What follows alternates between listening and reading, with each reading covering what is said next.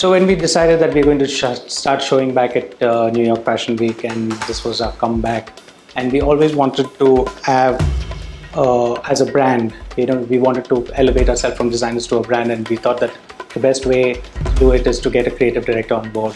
Getting Law as a creative director was one of the uh, best decisions we did because Law was very clear from the start that it was a Mumbai meets NYC you know, he, he loved the aesthetic, he loved the culture, he loved the uh, uh, he loved each and every minute detail that we'd taken from India and we put it on to this woman who, was a New Yorker. You know, uh, he knew that we were a luxury brand and how we could tone that luxury to ready to wear. You know, in an expensive manner, in, in, a, in, a, in a manner where you know there's a certain kind of aesthetic that we have and a certain kind of style that law brings on you know and i think the uh, amalgamation of these two brings out uh, a new sense of uh, uh, a new sense of a look for the peacock woman. So law law brought in a lot of little bit surprises.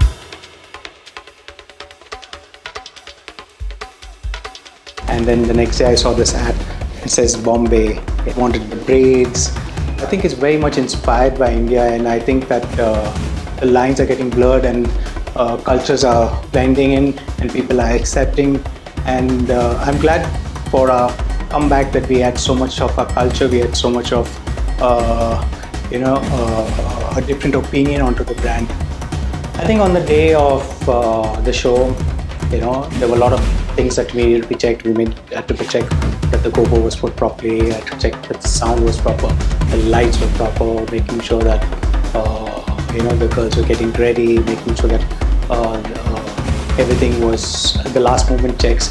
That's when you know I always feel that now we need to show to get what done. But I actually enjoyed the process also because it was from when we left off in 2015 to now till uh, till yesterday till the show got over. It was like this. I was waiting for this entire process, and I was really enjoying this process.